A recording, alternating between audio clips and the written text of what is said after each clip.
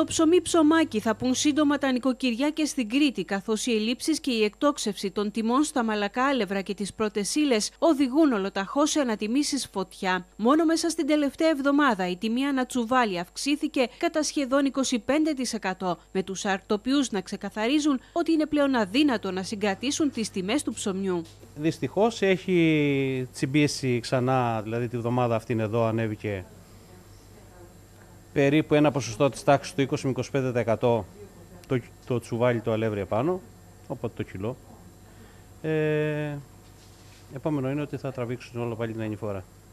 Γιατί δεν είναι μόνο αυτό, είναι το ρεύμα, είναι τα καύσιμα. Ρωσία και Ουκρανία παράγουν το 40% της παγκόσμιας παραγωγής και όσο η πολεμική σύραξη οξύνεται τα αποθέματα στην Ελλάδα που είναι πλήρως εξαρτημένοι από τις εισαγωγές εξαντλούνται. Το αλεύρι πουλιέται στη διπλάσια τιμή από ό,τι ήταν πέρυσι.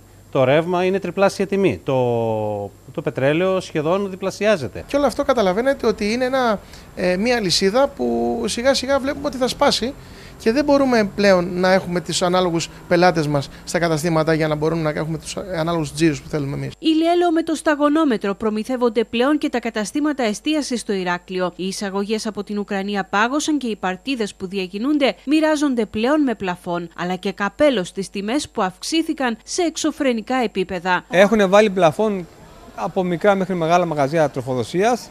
Ήταν 10 δοχεία, τώρα αυτή η εβδομάδα είναι 2 δοχεία τα δύο δοχεία δεν φτάνουν για δύο μέρες στο κατάστημα. Δηλαδή, μιλάμε πράγμα που στο Πάσχα και μετά δεν θα έχουμε ηλιέλαιο να δουλέψουμε. Οπότε ήρθε η ώρα να δουλέψουμε το ελαιόλαδο. Αρχίζει αυτό και επηρεάζει πάρα πολύ τις τιμές, με αποτέλεσμα οι καταστηματάρχες να προβούν σε αυξήσεις στις παροχές τους. Από 13 έως 14 ευρώ η συσκευασία, σήμερα φτάνει να πωλείται στα 35 ευρώ. Δεν το βρίσκει κανείς. Οι τιμές που το, αν υπάρχουν στην αγορά είναι τριπλάσια από αυτή που ήταν.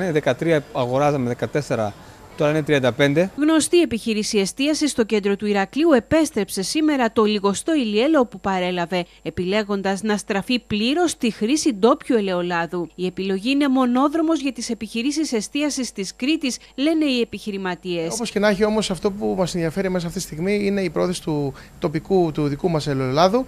Ε, να προσπαθήσουμε όλοι με, με κάποιο τρόπο να, να το βάλουμε στις επιχειρήσεις μας, γιατί και πιο υγιεινό είναι και μας συμφέρει περισσότερο να ενισχύσουμε την τοπική αγορά. Πλέον η απόκληση στη τιμή ανάμεσα στα δύο προϊόντα είναι ελάχιστη σε σχέση με τα ωφέλη από τη χρήση του ποιοτικού ντόπιου ελαιολάδου. Νομίζω όμως ότι μια σωστή διαπραγμάτευση και συνεργασία με τους παραγωγούς θα βρούμε τον τρόπο και θα το ξεπεράσουμε. Και το κράτος να βοηθήσει να, παρα... να δουλέψουμε το ελαιόλαδο στις επιχειρήσεις μας και οι συνάδελφοι να το βάλουμε στη φριτέζα έτσι ώστε ο καταναλωτής να τρώει την ποιότητα που αξίζει και πρέπει.